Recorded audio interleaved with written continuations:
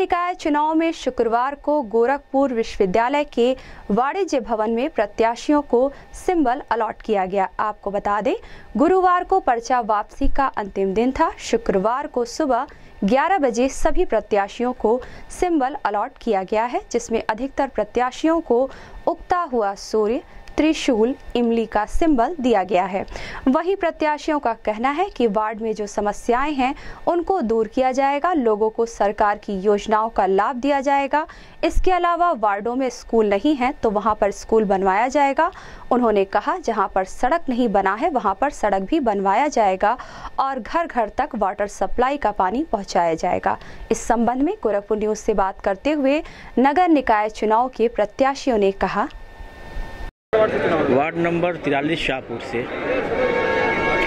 क्या प्राथमिकता रहेगी? आज सिंबल में क्या हुआ सिंबल? सिंबल मुझे उगता हुआ सूरज मिला है। और उगता हुआ सूरज के और जनता के भी यही था कि आप उगता हुआ सूरज लीजिए और वार्ड में उगता हुआ सूरज खिलना चाहिए। क्या प्राथमिकता रहेगी चुनाव में जनता के लिए? जनता के लिए रहेगी पहली तो रहेगी जो बुद्धा पेंशन है और जो पच्चीस साल से मेरे वार्डों में काम नहीं हुआ है और जो योजनाएँ सरकार देगी सब मैं पूरा कराऊँगा अपने वार्ड के वासियों को। मेरे वार्ड में पहले तो पानी की व्यवस्था एकदम चरम सीमा पर नहीं है जिससे मैं अपने निजी पैसे से मैं शाहपुर में खुरैया पोखरे पे अपने पास से मैं कराया। उसके बाद कम से कम दस पोलों पे अपने निजी पैसे से मैं लाइट लगवाया और सड़कें टूटी फूटी मैंने अपने पाँच साल में खुद मैं अपना खुद पैसे से काम कराया हूँ। और हो सके जीतने के बाद अपने वार्ड को एक अच्छा शाहपुर, नया शाहपुर बनाना चाहता हूँ। मेरा नाम है अफरोज खान शाही। मेरी माता जी चुनाव लड़ रही किस्वर नसीम।